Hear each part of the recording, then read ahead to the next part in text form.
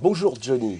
Comment tu vas? Ça va pas mal. mais Monsieur à- Manœuvre. Monsieur Hallyday, c'est à vous, là, c'est à toi qu'il faut dire euh, bravo quand même. 70 ans, dont 59 passés sur scène quand même. J'ai toujours 20 ans. Non mais ça se fête quoi. Là, là, là, on sort un programme de folie avec des copains, des amis, trois soirs à Bercy. euh, c'est un grand anniversaire. Bah écoute, au moins comme ça, je suis sûr d'avoir des amis qui viennent me voir mon anniversaire. Euh, Est-ce que c'est Elvis qui t'a refilé le, qui t'a donné l'envie? De faire du rock'n'roll, en tout cas, oui. Oui, bah, les premiers disques de Elvis que j'ai entendus, j'étais tout môme, c'était la famille de Lee Hallyday, qui était dans l'Oklahoma, qui m'avait envoyé les premiers disques de- d'Elvis, et parce que j'avais jamais entendu de rock'n'roll avant. Et d'ailleurs, comme je le dis sur scène, c'était du rockabilly à l'époque. Il y avait That's Alright Mama, et à l'époque, il y avait les maracas, euh, contrebasse, guitare et, et batterie au ballet. Et c'est vrai que ça, euh, ça m'avait marqué, moi, à l'époque, ça.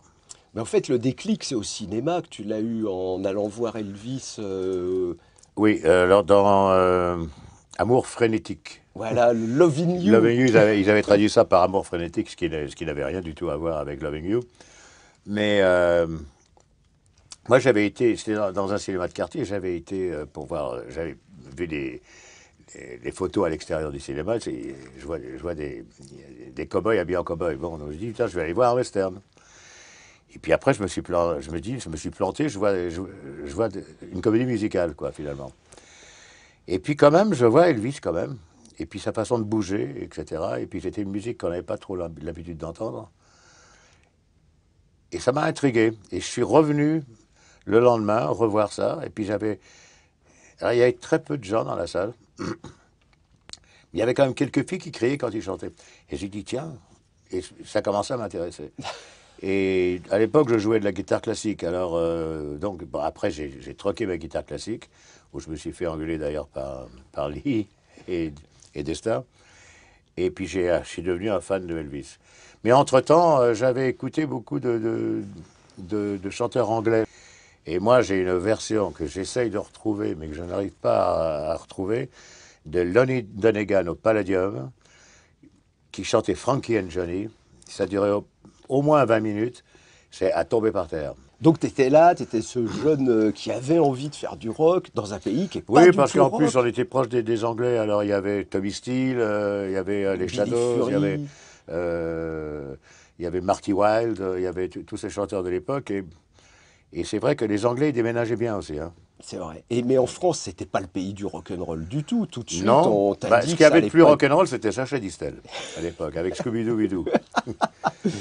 et, euh, et puis c'est vrai que quand, j'ai commencé, j'étais très controversé. euh, euh, les parterres des salles, c'était des gens qui étaient plus, plus bourgeois, disons plus... c'était, ils comprenaient pas très bien ce que je faisais. Par contre, j'avais les balcons où c'était les mômes qui, eux, qui, me soutenaient à mort. Et puis voilà, je crois que j'étais le premier à faire ça en France, en tout cas. Et alors, il fallait adapter. À l'époque, on voulait adapter le rock. On pouvait pas chanter Bebop Lula. Il fallait que quelqu'un euh, explique, fasse le texte français. Ben, euh, C'est-à-dire qu'on n'a pas chanté des choses très géniales en tant que parole euh, quand j'ai commencé, mais on ne pouvait pas chanter Be Apola, c'est ma baby en français, quoi, ou Blue Suede Shoes, ne marche pas sur mes chaussures en teint bleu. Euh, ça- ça- ça- Donc c'était pas facile. Et puis, la langue française n'était pas la même que, euh, qu'en anglais, euh, dans, le sens de, dans le sens des pieds. la métrique, quoi. Euh, Les mots en français sont plus longs qu'en anglais. Donc il fallait adapter aussi des paroles qui puissent aller sur la, sur la mélodie, parce que le rock'n'roll, c'est quand même euh, une musique qui est, où il y a besoin d'un certain nombre de pieds, euh, qui a besoin de. Pour, pour, pour le tempo, en tout cas. Pour le phrasé, surtout. Tu as sorti des, des 45 tours tout de suite en 60-61 et le premier n'a pas tellement marché, t'aimais follement, mais le deuxième, Souvenir, Souvenir, c'était de la folie, c'était le raz-de-marée, c'était l'explosion, quoi. Euh, Souvenir, Souvenir est une chanson qui, a fait, qui, m'a- qui m'a fait démarrer. Mais le, premier- le premier disque, il y avait surtout les Sleepy, qui avait, euh, qui, avait, euh, qui avait marché, mais uniquement par rapport aux gens de ma génération. Et d'ailleurs, à l'époque, j'écrivais toutes mes musiques parce que j'arrivais pas vraiment à trouver des, des, des, des- des- les Français n'écrivaient pas ce, ce style de musique. Ouais, c'est vrai.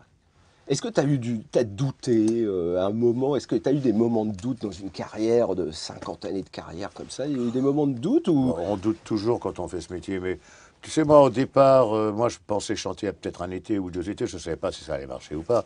Moi, je me. Je, pensais surtout à être acteur à l'époque. Donc, si tu veux, je, faisais ça par, euh, par passion, le rock'n'roll. C'était plutôt une passion. Mais je ne pensais pas en faire mon métier à l'époque. Et il y a eu des phénomènes incroyables autour de toi. Souviens-toi, quand il y a eu la fête de la nation, le général de Gaulle n'était pas content. Quoi. Il y avait un million de gamins qui étaient venus voir les. Toi en particulier, sur la place de la Nation, c'était en 1963, autour de la fête de Salut les copains. Et le général de Gaulle avait dit euh, ça ne va pas du tout, euh, s'ils ont rien à faire, qu'ils aillent construire des routes. Tu avais été touché on- d'énerver le vieux comme ça. euh, Qu'est-ce que tu avais ressenti? On a quand même aidé à ce que les routes se construisent. hein. ah oui, parce qu'on circulait beaucoup pour Mais, aller d'une ville à l'autre. Oui. Mais non, bah, c'était une époque. hein, tu sais, là, tu sais, Elvis, euh, Elvis, quand il a commencé, euh, à l'époque, dans le sud des États-Unis, les gens étaient très racistes. Et quand il est passé aux radios, il y a, un, un disc jockey qui a cassé en direct son disque en disant Vous n'entendrez plus jamais euh, ce chanteur euh, avec sa musique de nègre à l'antenne. Et c'était assez, dur quand même, c'était assez violent comme réaction. Et, eh ben moi j'ai eu la même chose avec euh, euh, avec euh, Lucien Maurice Lucien Maurice qui a, qui a cassé mon disque à l'antenne. Mais on est deux. Mais je lui en veux pas parce qu'on on est devenus très amis par la suite. Et il défendait Dalida. Bon, il, il- c'était le compagnon de Dalida à l'époque. Ça peut excuser des choses. Mais je me souviens, quand tu es parti au service militaire, tout le monde disait Johnny Hallyday, prof- vous avez bien profité, les gamins, il reviendra pas. hein. Les, les, les croulants étaient très contents de ce Ouais. départ. au- Bah, D'abord, mon service militaire, je l'ai fait comme tous les Français, comme tous les jeunes de, de mon âge. Euh, et c'est vrai que quand je suis revenu du service militaire, j'ai eu un peu de mal.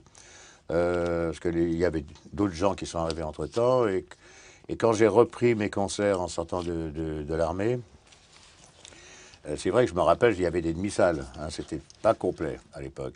J'ai changé un peu, j'ai travaillé sur, euh, sur le- le, sur le style musical que je faisais. Et puis c'est là que j'ai commencé à travailler avec Mick Jones Voilà. et Tommy Brown. Et on a commencé à faire des jolies sarades et des choses comme ça. Et, Et puis il y avait, tu as trouvé un certain Jimi Hendrix qui faisait et ta puis première partie. il y a eu Jimmy euh, qui est, qui est parti en tournée avec moi. Ça, c'était gonflé parce que personne en Angleterre ne voulait. Tout le monde disait attention, s'il arrive, il fait votre première partie, plus personne passe derrière. Donc les Who avaient la trouille, les Stones n'en voulaient pas. Et toi, Johnny Hallyday, tu dis bon, moi je vais le prendre, votre gars. Mais oui, parce que je trouvais, d'abord, je trouvais ça formidable ce qu'il faisait. Euh, J'avais jamais entendu un guitariste comme ça. Moi, j'ai toujours été un, un grand fan de Guitar Hero. De, pour moi, il, il en faisait partie. Et en plus, on était devenus très potes, euh, Jimmy et moi. Et quand on est parti, euh, il devait partir avec moi 15 jours. On est, pas- on est resté 6 mois en tournée ensemble. Et vraisemblablement, vraisemblablement euh, s'il n'était pas parti en tournée avec moi, j'aurais vraisemblablement jamais enregistré Hey Joe. Qui a été la clé d'un nouveau public aussi. Ouais. Euh, ça, C'était à chaque 45 tours, on décrochait des, des nouvelles, des nouveaux Ouais. fans. Ouais. Il y a eu des, des- des 45 tours un peu scandaleux. Est-ce que tu pourrais rechanter Jésus-Christ est un hippie? Ouais, avec le temps, oui, bien sûr. oui. Parce qu'à l'époque, ça avait pas, euh, ça avait des Ben oui, c'était. Il faut se remettre dans le contexte de l'époque. À l'époque, c'était, les gens étaient beaucoup moins ouverts qu'aujourd'hui. hein. Tu, tu parlais, on parlait de Hendrix. euh, voilà, quand on parle comme ça, je pense à tous les guitaristes qui ont accompagné Johnny Hallyday. Il y a quand même une, une bande de pointures absolument incroyable. J'ai toujours aimé les guitaristes. Euh, puis j'ai eu la chance aussi d'enregistrer énormément à Londres, d'être, d'être reconnu par euh, énormément de musiciens en, en Angleterre. Et donc d'avoir eu beaucoup de, de, de, ces guitaristes qui sont venus jouer dans mes séances. Jimmy Page, Donc Jimmy Page. euh, Big Jim Sullivan. Oui, et puis euh, il y avait aussi euh, euh, Clapton. Et sur scène, tu, tu tournais, donc il y, avait, y avait Mickey Jones qui a été faire Foreigner après, après il y a eu Rolling, après il y a eu Nono, enfin, et aujourd'hui il y a Yarol Poupeau Aujourd'hui, il y a Rolf Poupeau et puis Robin le Mesurier. et Robin le Masurier. qui est- qui a- que j'ai connu d'ailleurs à l'époque quand il jouait avec Rod Stewart. Oh. D'ailleurs. Comment tu as rencontré Yarol euh, Alors, Yarol, je l'ai rencontré de, quand j'ai tourné Jean-Philippe, le film, D'accord. euh, où je, le film euh, qui, qui parle de si Johnny Hallyday n'existait pas. Ce monde où Johnny n'existerait Euh, pas. et donc, le concert du Stade de France à la fin, où je dois aller sur scène, euh, où je redeviens Johnny Hallyday, ils avaient, demandé à, ils avaient demandé à de la figuration à des gens de venir, et puis ils avaient demandé à Yarol de faire le guitariste. Et Yarol, sur, euh, sur scène, pour le film, a, joué le, le guitariste. Et c'est comme ça qu'on s'est connus. Et tu t'es dit, ah, ah, Parce qu'on on attendait beaucoup, hein. au cinéma on attend beaucoup, il faut, bien le savoir. hein. Euh, le temps qui change les lumières, etc. Des fois on attend 2-3 heures avant de retourner le- le- le- la suite de, de la scène. Et alors quand elle était sur scène et qu'il y avait un public, parce qu'il y avait un public de figurants, mais enfin c'était quand même un public, et on a commencé à faire des bœufs. Et on a commencé à faire des trucs comme euh, des chansons comme euh, I found my thrill. Puis lui il me suivait toujours. Pam, pam, pam. Hill. Puis on a parlé, on a discuté, on a fait le bœuf comme ça pendant, pendant 2-3 heures euh, sur scène. On est devenus potes et puis euh, voilà, c'est venu naturellement après. euh, voilà. La carri- les- si on regarde les disques de Johnny, il y a eu tous ces grands guitaristes, puis il y a eu des paroliers.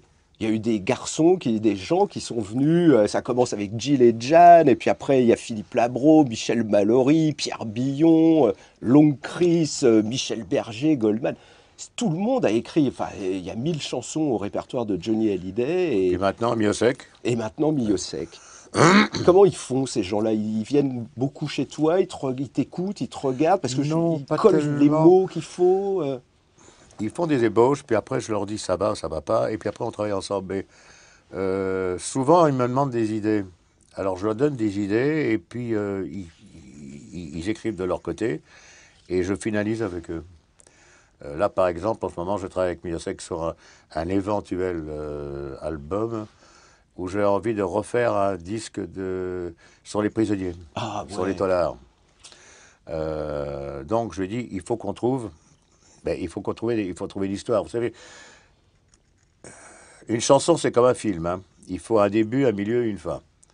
Donc il faut trouver des histoires, il faut trouver des, des- sujets pour ça.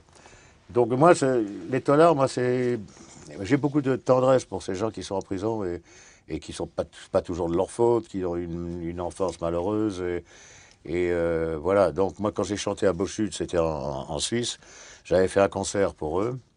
Et quand je suis sorti avec mes musiciens euh, dans, dans la cour, où il y avait les voitures qui nous attendaient, pour lui dire au revoir avec des gobelets en métal contre les, contre les barreaux, ils nous disaient au revoir en tapant sur les, sur les barreaux. Et moi, dans le, dans le noir en plus, euh, de la nuit. Et moi, ça m'a, j'en garde un souvenir euh, très... Mais il y a beaucoup de chansons qui parlent de ça, depuis les portes Et d'abord, celui qui m'a donné envie de faire ça, d'ailleurs, c'est Johnny Cash, Eh ouais, qui était allé jouer euh, avec- à 50 ans. à Saint-Quentin. Mais tu as beaucoup de chansons, depuis les portes du pénitencier jusqu'à Ouais. Mirador. Ouais, euh, Il y en a, il y en a énormément. Dans... Tu as joué à Fleury-Mérogis au tout début. euh, c'est- des choses formidables. Ben, c'est des choses, c'est des histoires d'hommes, quoi.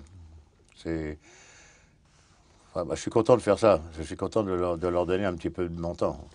Si on parle des albums, moi, il y a un album que j'ai toujours adoré, c'est Rivière ouvre ton lit. C'est un disque incroyable où il y a les Small Faces, il y a Steve Marriott, il y a Peter Frampton, tout le monde joue euh, C'est derrière. là que j'ai rencontré Rolling sur cet album-là. Ah d'accord. C'est un album prodigieux, euh, le voyage au pays des vivants, euh, incroyable. on l'a fait, on l'a fait souvent. hein. On essaie de changer les chansons pas- pas- quand on fait des spectacles, pas toujours faire les mêmes. Mais on l'a fait souvent, Voyage au pays du vivant. Et puis, il y a, euh, il y a, il y a 3-4 ans, j'avais j'avais repris, j'avais refait euh, Rivière au voton lit. Oh, ça c'était génial. Mais est-ce que Réclamation pourrait un de ces quatre euh, revenir? Oui, bien sûr. Je, ouais, je laisse une petite surprise pour ça. Moi j'adorerais. hein. Et moi, j'aime bien réclamation. Oh, c'est énorme. Ouais. Appelez-moi le chef de rayon. Pardon. Et puis, ouais, ouais, je- des, trucs, je suis pas d'accord. donc, c'est- et, et puis il y a eu des plantades. Il y a eu des disques qui ont été euh, comme en pleine vague punk. Qu'est-ce qui t'a pris d'adapter Hamlet alors que tout le monde était en train de faire du Sex Pistols? Toi, tu dis non, moi je vais prendre une section de cuivre et faire un double album en adaptant Shakespeare. Ben, moi, je, je suis un fan de, je suis un fan de Shakespeare. Euh, j'ai pas l'air comme ça, mais je lis beaucoup. Et moi, j'ai toujours été, j'ai toujours été traumatisé quelque part, poursuivi par le personnage de Hamlet.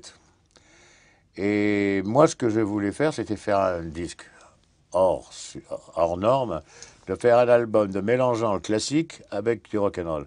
C'est-à-dire des guitares électriques et tout ça, avec un orchestre symphonique. Voilà. Euh, ce qu'on fait de plus en plus d'ailleurs. Mais à l'époque, on ne le, faisait pas, ça. Euh, et, voilà. Et puis donc Gilles Thibault m'avait présenté tous les textes qui me plaisaient. Et puis euh, voilà, bon, ça n'a pas suivi, mais c'est pas grave. Moi, je suis content de l'avoir fait. Hein. Et les modes C'est parce qu'à un moment, il faut, quand tu veux durer, euh, tu es obligé de te coltiner toutes les modes qui arrivent des États-Unis, d'Angleterre. Ça a été. Bah, à l'époque, je, je, devançais plutôt les modes. C'est-à-dire que avant que le twist arrive, je chantais le twist. Je, euh, un petit peu comme Claude François, d'ailleurs. Claude François, c'était quand même le précurseur de, de, de, la dance musique. Hein. Ouais, ouais, ouais, il était sur les 45 tours Motone des, des Four Tops, euh, hop, c'était direct. Si j'étais qu'il fait, si j'avais un marteau, il l'avait, il l'avait sorti en France avant Trini Lopez. Et puis après, il y a un autre disque important, c'est Rock'n'Roll Attitude. On en, là, Michel Berger, comment il a, il, a, il a imaginé le Johnny moderne, euh, celui qui vit devant nous là Michel, euh, Michel est arrivé à faire, à mélanger un certain style de rock'n'roll avec des paroles avec des paroles euh, d'un niveau euh, supérieur à ce qu'on avait l'habitude dans le carole de faire. Euh, je crois que c'est ça au départ qui a marché. On n'en a pas vendu autant que ça avec Michel. On avait fait vendu 550 000 albums à l'époque, qui était peu par rapport à ce que j'avais vendu avant et après. c'est pas mon, mon, plus, mon, plus, gros score. Mais c'est le disque tournant. J'en ai beaucoup plus vendu, par exemple, juste après avec Goldman, avec l'envie et tout ça, Laura, l'envie, etc. Mais c'est le disque tournant parce qu'il a défini le Johnny euh, euh, euh, adulte. C'était la première fois que voilà, il y avait le chanteur abandonné, on parlait de tes goûts justement, de, ben, il y a toujours Tennessee, qui est pour moi qui est une, chanson formidable. On a souvent parlé, moi j'adore Tennessee Williams, il m'avait demandé qui j'aimais. Euh, je lui ai dit j'adorais les pièces de Tennessee Williams, que tous les films que j'ai aimés, moi, dans, dans, ma jeunesse, étaient en général d'après des pièces de Tennessee Williams. Et l'idée de quelque chose de Tennessee est venue comme ça. Alors c'est vrai qu'au début, les gens ne savaient pas très bien. Ils croyaient que je parlais du Tennessee, le fleuve. Et je, leur expliquais, mais non, je parle de l'auteur. ça, c'est magnifique, ça. Il y a peut-être des gens qui ont été acheter les livres de Tennessee Williams peut à cause de toi, tu vois. Et après, c'est les stades. Après, c'est vraiment. Euh, après, il y a Gang, et puis euh, c'est la porte, euh, c'est Johnny Hallyday, tu te mets à tourner dans les stades. après, oui, après, je voulais faire des spectacles où pour donner un petit peu des rêves aux gens, pour donner un petit peu de l'immensité, un petit peu comme les films, moi, que, je voyais, euh, euh, où je disais, bon, euh, on n'a pas l'habitude de faire ça sur scène, pourquoi pas essayer? Et moi, j'essaye toujours de faire des choses pour faire rêver les gens, pour que les gens passent une soirée avec qu'ils en aient plein les mirettes.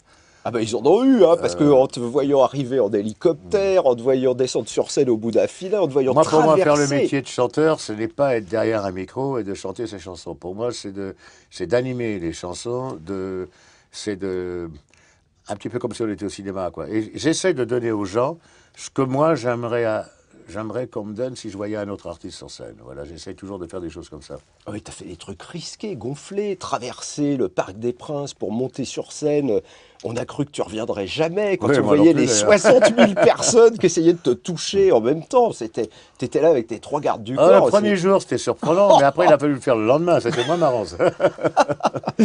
non, et puis tu es arrivé sur scène en Harley avec les côtes cassées. Enfin, tu nous as tout fait. Et c'était toujours cette volonté du spectacle, du show. Oui, mais le spectacle, c'est important. C'est, euh, c'est ta vie, non? Mais j'aime bien surprendre et puis j'aime bien faire des choses que les autres n'ont pas fait. Alors, c'est pas toujours facile de trouver les choses que, que personne n'a fait. Mais, euh, mais, on y arrive, mais c'est pas, c'est moins en moins facile, hein, parce qu'on a, on a fait beaucoup de choses quand même. Comment on choisit quand on a un répertoire de 1000 chansons euh... tu, Je choisis pas un peu, je teste des fois des, nouvelles, des, chansons et puis je vois un petit peu ce que les gens, euh, d'après leur réaction, ce qu'ils aiment ou ce qu'ils aiment moins. Alors je, refais après un tour d'horizon par rapport à ceux qui ont, qui, aiment, qui ont été le plus applaudis ou ce qu'ils aiment le mieux. Euh, en général, c'est comme ça que je fonctionne. Là, samedi soir, tu vas faire un concert spécial, euh, ce qui va se passer au théâtre. Bah, de ce que je Paris. fais à Bercy, c'est euh, rien à voir avec ce que je vais faire au théâtre de Paris. Tu peux nous donner théâtre- quelques idées Bon, au théâtre de Paris, je vais refaire des trucs comme, je sais pas moi, je peux pas trop dire, mais je suis un rock'n'rollman que j'ai pas fait depuis longtemps. Dead or Alive de, de Lonnie Donegan, mais version rock, hein, pas, pas version skiffle. Euh, Bebop Alula avec, avec Brian Selzer, vois, pour des Blue Suede Shoes, des, des trucs comme ça, quoi, des trucs, euh, Des qui- vrais trucs des trucs qui m'ont rock'n'roll. donné envie de faire ce métier. Voilà, voilà. Ce soir, ça va être ça. Et mais alors, sur TF1 en 2009, quand tu es venu dire j'arrête, euh, c'est ma dernière tournée, euh, c'est le tour 66, ça sera le dernier, qu'est-ce qui s'est passé? Tu as changé d'avis depuis euh? Entre-temps, j'ai eu mon accident et puis donc j'ai- arrêté, forcé. hein. Et puis ensuite, euh, en plus, j'ai commencé à paniquer en me disant, mais je tournais en rond, j'ai dit, mais qu'est-ce que je fais là euh, C'est pas possible, j'ai besoin, j'ai besoin d'aller, j'ai besoin de faire le métier que je fais, j'ai besoin d'aller sur scène. Ou alors je m'ennuie à mourir. Mais rien ne vaut le contact avec le public. Est-ce que tu as retrouvé ça quand tu as fait du théâtre? Sur scène au théâtre Est-ce qu'il y a un contact? Oui, mais différemment. Euh, parce qu'il y a une pièce, parce qu'il y a une histoire, parce qu'il y, a, il y a un texte, à, res- à- à- un dialogue à respecter. Euh, mais c'est vrai que de jouer devant une caméra en tant qu'acteur, euh, et puis de jouer devant un public, même la même chose, hein, euh, il y a quand même le, il y a quand même le contact avec le public et les réactions qu'on entend quand même sur scène du public qui sont pas les mêmes que quand il y a une caméra avec, euh, voilà, juste avec le caméraman derrière. C'est sûr. C'est vrai, c'est. Je comprends, je comprends qu'il y ait beaucoup d'acteurs de théâtre qui préfèrent faire du théâtre que du cinéma. Alors là, moi, je suis obligé un peu de tirer le bilan. 50 ans de carrière, 182 tournées, J'ai 1000 plus de 50 ans de carrière. hein. J'ai commencé à 16 ans et j'en ai commencé, 70. Ouais, ouais, ouais. Donc, moi, j'avais calculé 59 ans. Ah, de- Si on calcule que tu as commencé à 11 ans à chanter cette chanson de David Croquette, est-ce que tu t'en souviens? Oui, David, David Crockett, l'homme qui n'a jamais peur. Donc là, tu as 11 ans. Et est-ce que- qu'est-ce qui te traversait l'esprit quand tu jouais? Tu étais pétrifié de trac ou Je connaissais pas, je connaissais pas le rock'n'roll encore à cette époque-là. Et puis moi, je, je chantais une ou deux chansons dans, dans le, le numéro de danse de Desta euh, Eli Hallyday euh, pendant qu'il changeait de vêtements. Euh, mais j'étais pétrifié de peur. hein. Alors là, on est là, 59 ans de carrière, 182 tournées, 1000 chansons enregistrées, 48 albums studio, 100 millions de disques vendus. Et il paraît que tu vas attaquer l'Amérique? Non, je ne vais pas attaquer l'Amérique, je vais faire un album en anglais, je vais faire une tournée aux États-Unis. Ça ne veut pas dire attaquer.